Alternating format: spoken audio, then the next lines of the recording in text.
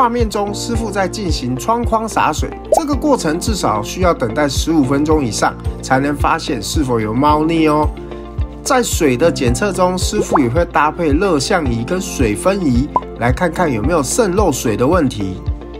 有时候啊，肉眼无法看见的，就交给肉体。哎，不是啦，交给精密的仪器来处理哦。欢迎来到太阳下的工商时间小帮手。制服一件五百，加一件原味的，还是五百。上链接。上链接。台中唯一指定专业验屋八千起，上车喽。上车。两房八千。八千。三房一万。一万。两房加两房，四房一万二起。一万二起。后天优惠价两万，五十平以上加四百，上车喽！上车喽！台中唯一指定专业验屋，上车专线打电话喽！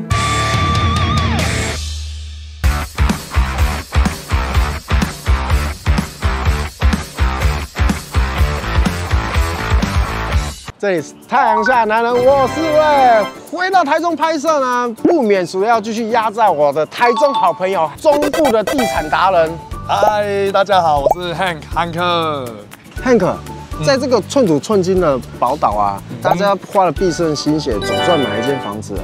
可是不是买下去的当下都知道它的格局了吗？还会有什么样的问题吗？这时候啊，就是外行的看热闹，内行的看门道啦。外行如，诶，我先不要被他粉丝追杀好了。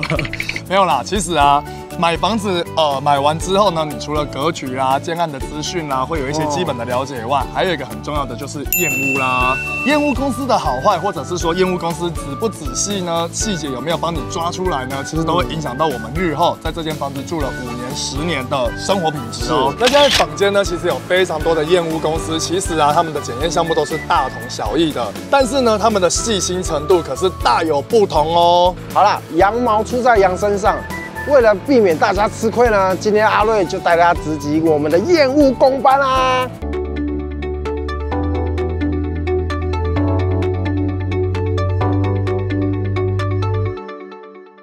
Hank，像我本身是板模师傅，所以我进来这个新房子的时候，我在看的都是看它的直线跟它的直角有没有够直。像你买过房子，啊哈，对你来说你会注意什么？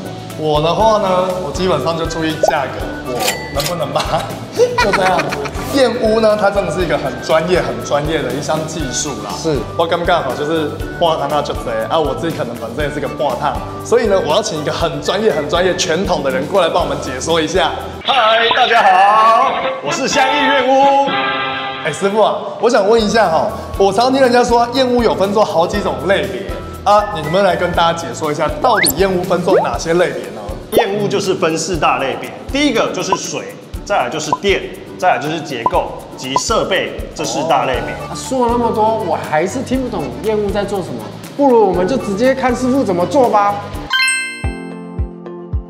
验屋工班的师傅在开始检测前，会先跟屋主先确认买卖的契约书。这份资料会详细记载所使用的建材、设备品牌等等，让师傅可以确保待会验屋过程和契约内容一致。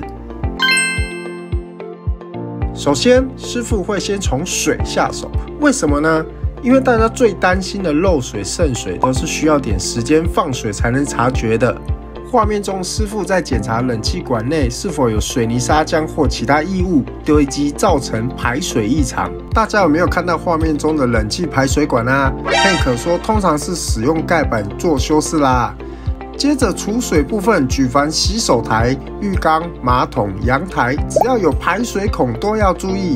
洗手台先将水塞住后，会观察三个地方：一、储水会不会泄漏；二、溢水全孔，排水是否正常；三、洗手台下方水管有没有漏水。各位观众，嗯，对，漏水了，抓到，抓到。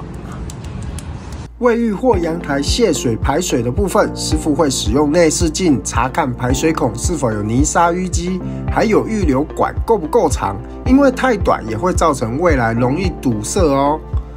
这里师傅有特别提到，干湿分离的排水孔，除了要特别留意泄水坡度，避免积水，还必须以洒水方式测试门片。之前就有屋主在测试干湿分离的同时啊，赫然的发现会渗水到隔壁房间，真的是呆鸡断掉啦！画面中师傅在进行窗框洒水，这个过程至少需要等待十五分钟以上，才能发现是否有猫腻哦。在水的检测中，师傅也会搭配热像仪跟水分仪，来看看有没有渗漏水的问题。有时候啊，肉眼无法看见的，就交给肉体。哎，不是啦，交给精密的仪器来处理哦。来，这里又抓到了低级缺失啦！屋主心在滴血的程度，就跟这窗框渗水一样流不停啊！瑞有发现这个燕屋工班的贴心之处啊。师傅会将卫浴的检测留到比较后面，避免过多的踩踏，把屋子里面踩的到处都是脚印。电分作两个部分，一一般电，师傅会进行相位检测，来确认插座是否有接地线，接线是否正确，有无漏电风险。以确保未来用电上的安全，也会检查配电箱与对应的电器设备是否能够正常使用。贴心的是会帮屋主在电箱标示每个线路名称，这很适合我老婆这种水电师傅一来就一问三不知的家庭主妇哦。听汉克说，他一个朋友买了一间二十几年的中古屋，也是相遇燕屋处理的，就抓出火线跟中线接反的问题。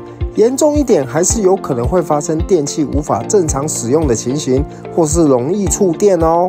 二弱电，网络电话、数位电视都是在检测的项目里。由于用户还没申请室内电话，所以会使用蜂鸣器来确保电话线能正常的运作。瑞说过，一进屋我会看的就是结构的部分，但我的知识领域也仅限于墙、梁、柱。像是瓷砖啊、门窗啊，其实也是结构的一部分哦。结构通常都会搭配镭射水平仪来检测，而地砖、壁砖则是使用敲击的方式来确认是否有空心隆起的状况。如果真的遇到了，凿除更换最麻烦，成本也最高，还要留意修缮时造成周边瓷砖受影响。如果发生在卫浴，还会破坏到防水。所以，最好的补救方式，也是目前最常使用的方式，就是灌注，以打针的方式灌注环氧树脂，施工上方便，成本低。只要在修缮后留意瓷砖钻孔后针孔的填补复原是否确实就好。在墙面的部分，师傅也会仔细的浏览过有无瑕疵、皲裂等问题。验屋过程中，师傅说结构好检测啊，难修改啊。瑞觉得很中肯。因为大缺失，只能跟建商求偿，或是利用装潢来补强。还记得 Hank 说过，再好的建案也可能有漏水的问题啊。所以刚遇到的渗漏水，其实都只能算一般的缺失而已。怕就怕结构出状况，只能说要买到天衣无缝的房子，真的是不容易啊。这里呼吁大家，避免交屋后建商拿了钱售后不理，交屋前的验屋超重要。设备的检测，除了刚说的热像仪、水分仪、镭射水平仪、内视镜以外，还会依建商合约的建材表测试甲醛含量、噪音、电磁波、玻璃厚度。师傅有说，连硬体的厂牌啊、尺寸啊，都必须确实的比对过。这里只能说，专业的验屋人员真的是要身怀绝技，也难怪证照对于他们来说只是基本的门槛哦。瑞觉得验屋人员真的很辛苦，一场下来两三个小时，全神贯注以外，还要格外的细心以及吹毛求疵。因为啊，这是交屋前啊帮屋主做的最后把关啦。简单来说，我们验屋的流程啊，大概差不多一个半到两个小时之间。那一般消费者比较容易遇到的问题，就是建商有时候会跟屋主说，我就只有给你一个小时去验屋。啊，这样很容易就是造成那个泼水时间浓缩，就没办法去验的缺失。所以我们都会再次提醒消费者，就是我们屋主一定要跟建商要求，一定有办法到一个半甚至到两个小时，这个是非常重要的。哇，好累哦！我觉得这个真的很累嘞。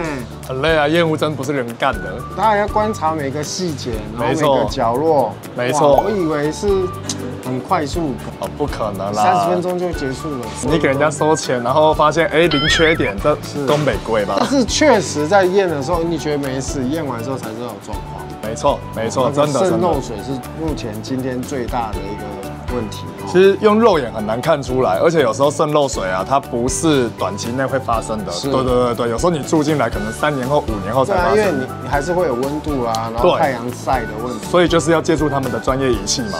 你买过房子，你也验过屋，嗯嗯，那今天这个用工班它有什么比较过人之处？你们刚刚在忙的时候，我有跟他们里面的师傅大概聊了一下哈。是师傅本身呢，他既有水电的执照，是又有工地主任的执照。哦，确实，他要懂的东西非常多。没错，没错，没错，由此见得啦，他绝对不是破烫哎。而且刚刚他有跟我讲到说，整场验屋结束了以后，他们是会跟客户就是大概有一个，比如呃差不多十到二十分钟的一个配电上面的建议。哎呦，有一次我就在我家，我在吹头发，我老婆她在厨房用烤箱，我不知道啪一下断电跳电了。他们在这部分的话，电是他们的专业，所以他们验完屋以后还是会跟客户讲解的非常的清楚，就是说，哎，你们家有多少的人，然后要配多少的电，这个是蛮重要的哦。这个蛮特别的哦。哎，你会不会好奇他们的薪水怎么样？哎，我们今天就来邀请到我们的会计小姐，Hello，里面请，里面请。这边这边，好，所以呢，只要加入这个行业啊，嗯多久能够出师？多久其实是看自己验的场次。如果你是有经验的话，其实差不多十场就可以出师。哦，那其实会很快呢，但是你要相对要去考很多证照哦，相相关证照，对，因为是这个包含的已经太广了，除了水电啊、结构之类，其实他要的东西其实蛮多的。好，那成为一个师傅之后呢，他的薪资大概会落在多少？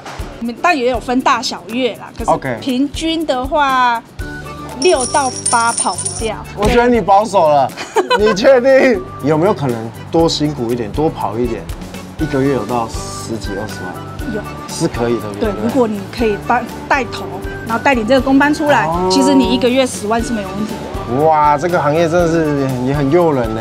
但是蛮辛苦的啦，是，因为它是需要很多经验去累积的。那你有没有要透过瑞的频道说些什么呢？燕屋早相遇，上车哦！喜欢这一集的话，记得订阅、按赞、加分享、开启小铃铛。我们下一见，大家拜拜。哎，这家问题让好像我上次影片不就跟你讲过了，就是投资客最爱的那一家。如果你也想成为下一位爆红创作者，请打开下方资讯栏链接，一起来投稿吧。